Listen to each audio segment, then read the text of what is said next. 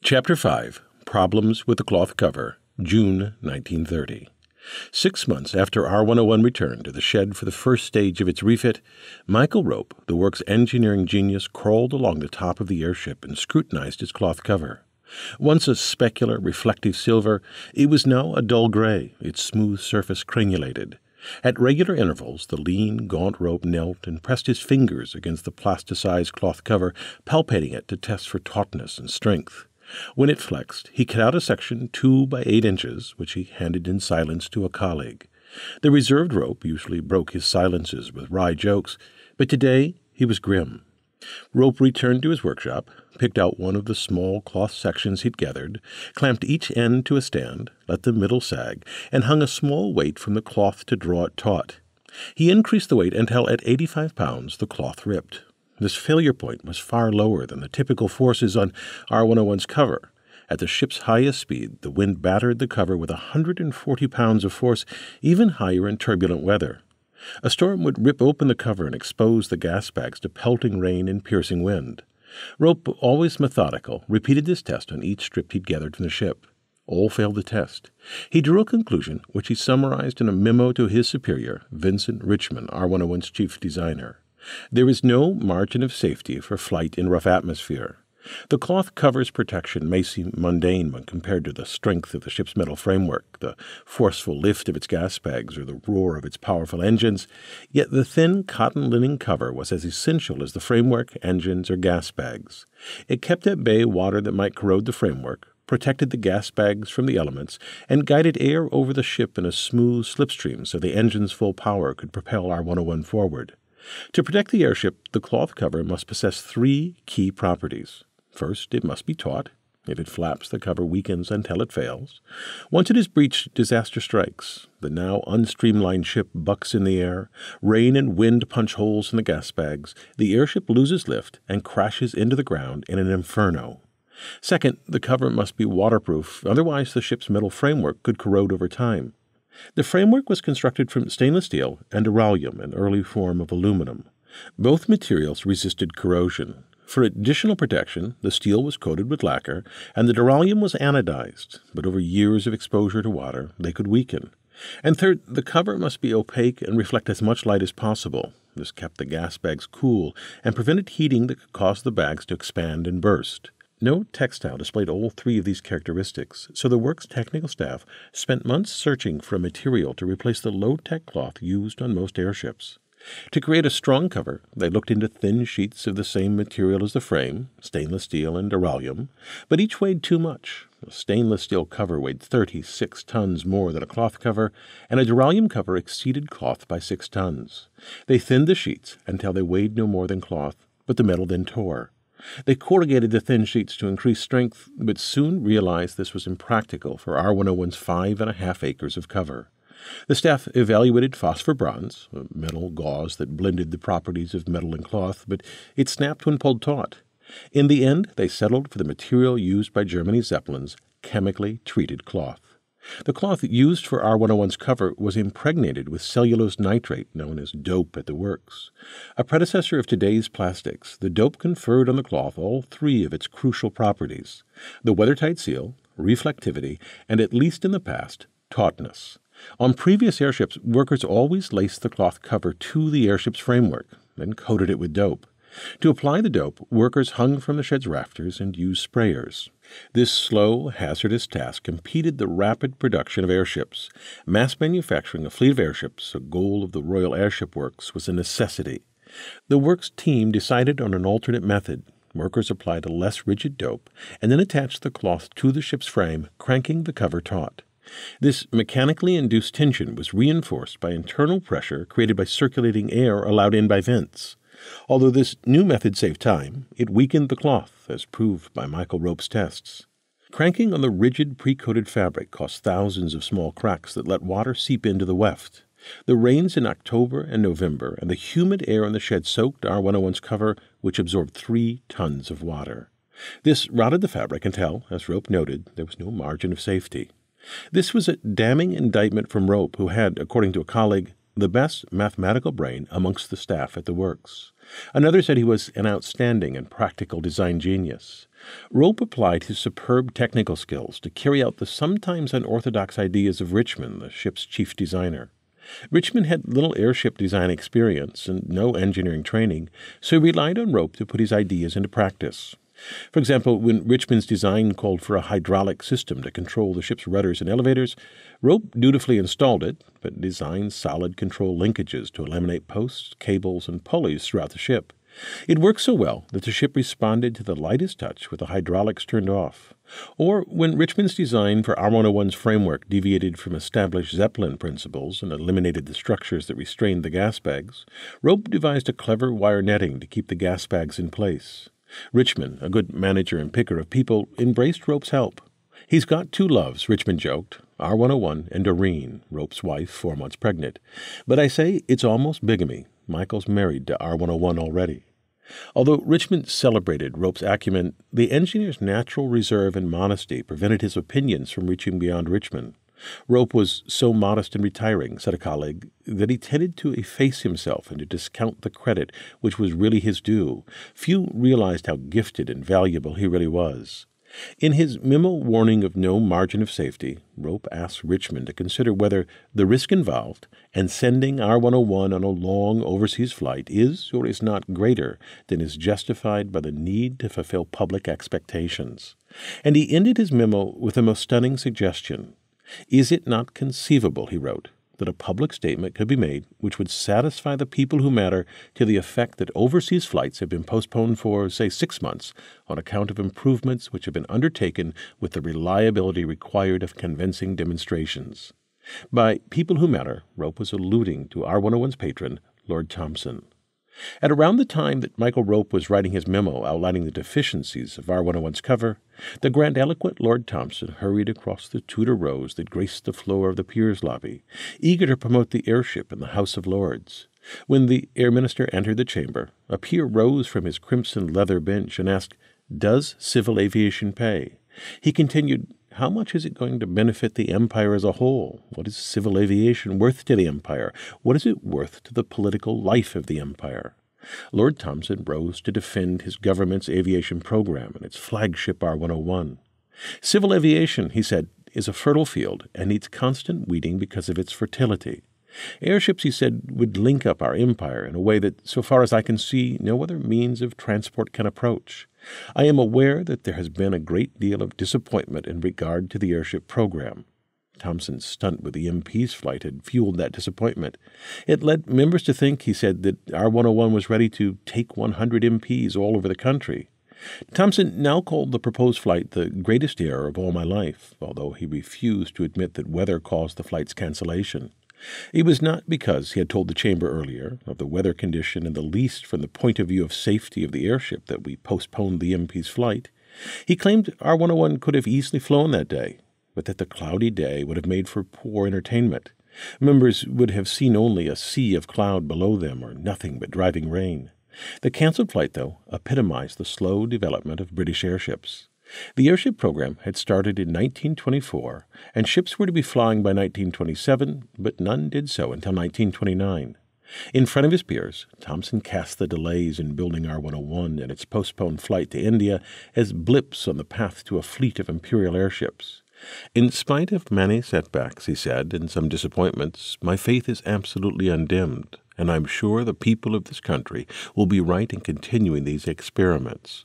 Many members wondered why British airships were still experimental while Germany's Graf Zeppelin soared around the world.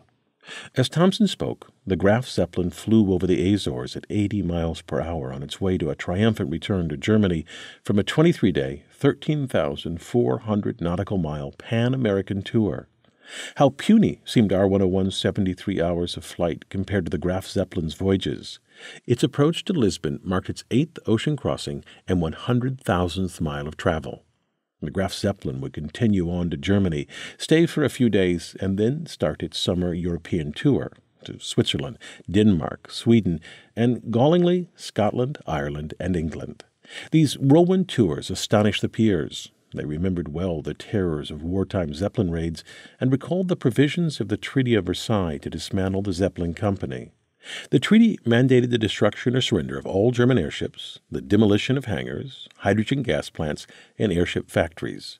As their first act under the treaty, the principal Allied powers, Britain, France, Italy, and Japan, seized all Zeppelin Company airships and moved them to their countries. With no airships to sell and no lucrative military contracts, the Zeppelin Company neared bankruptcy.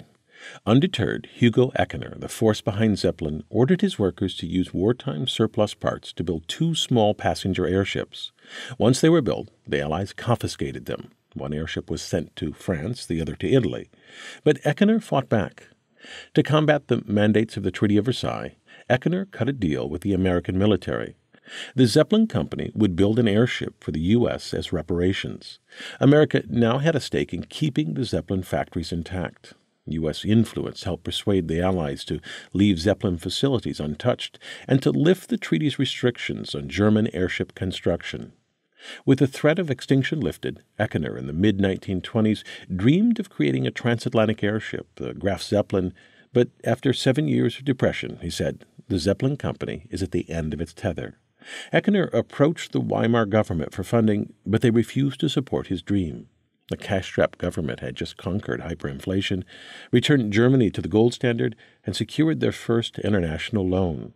They worried that a Zeppelin in the sky would evoke memories of bombing raids and offend Germany's hard won international partners.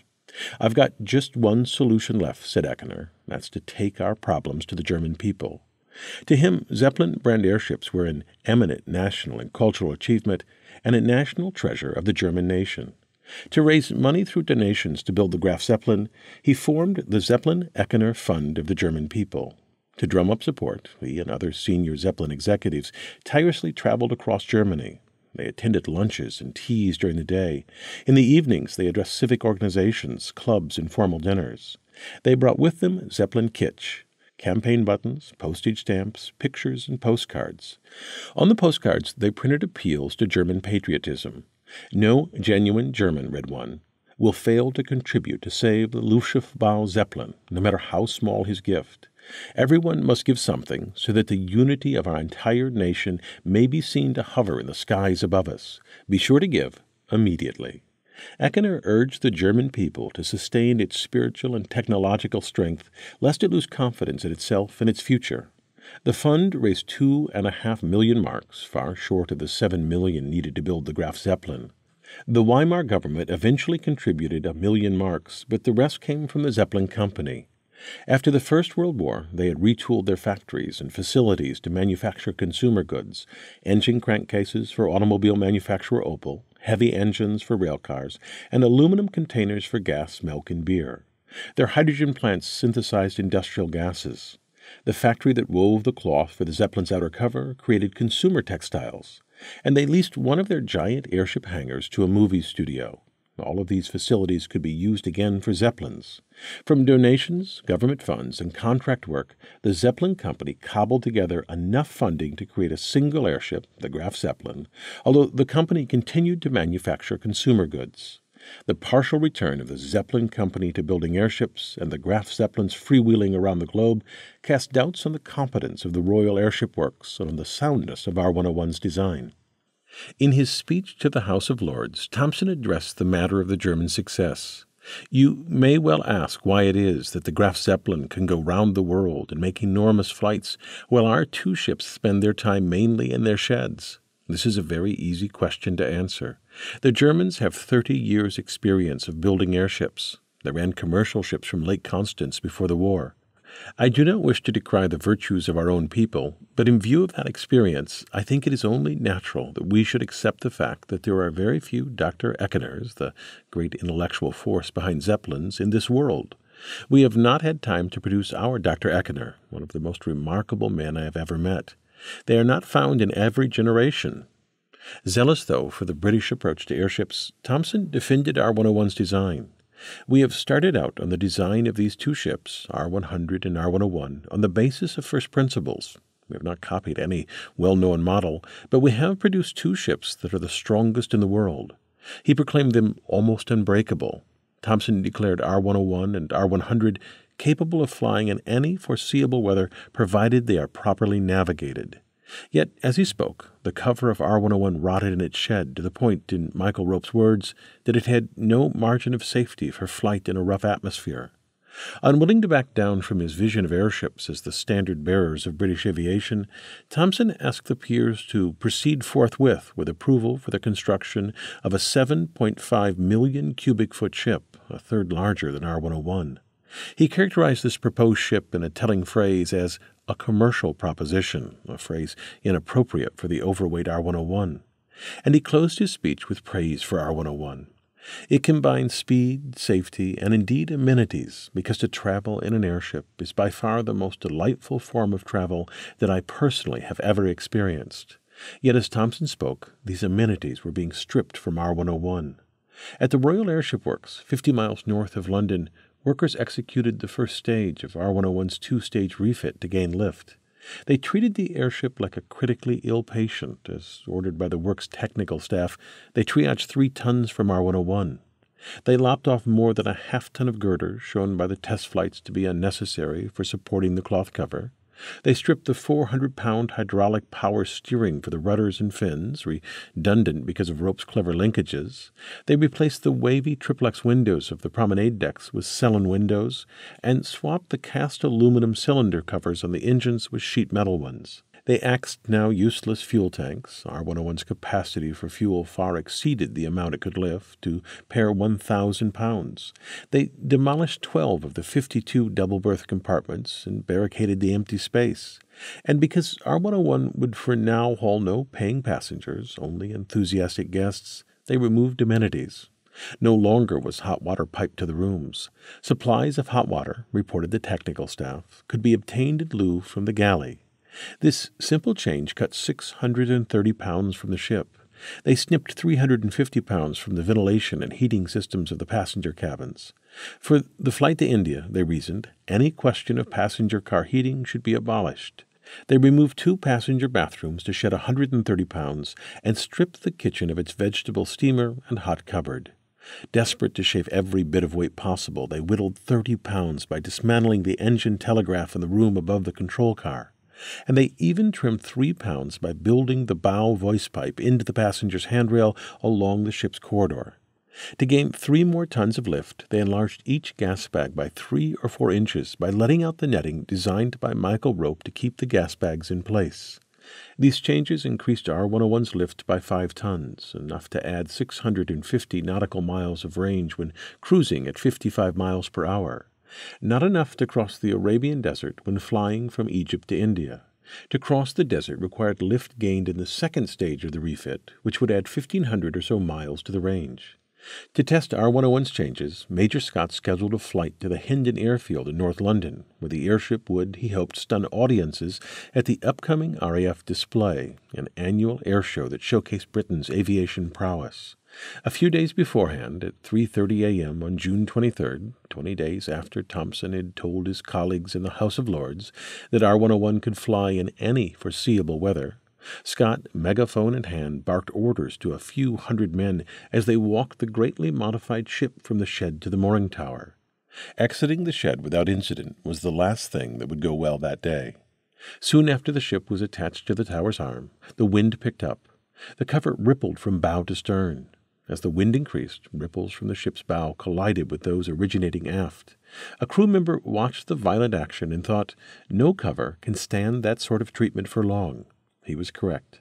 A hundred and forty foot long tear opened along the top of the ship. The next day, newspapers followed the Air Ministry press guidance. Slight damage to the fabric near the top of the airship was noticed yesterday afternoon, but it was learned that it was nothing to worry about.